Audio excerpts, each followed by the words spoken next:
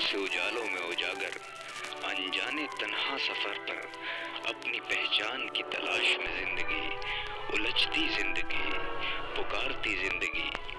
चटकती ज़िंदगी, सुलझने की तमन्ना लिए उम्मीद के सराब में, मायूसियों के जाल में लिपटती, चटकती ज़िंदगी अपनी अजमत के एहसास को आवाज़ देती है। ये कहती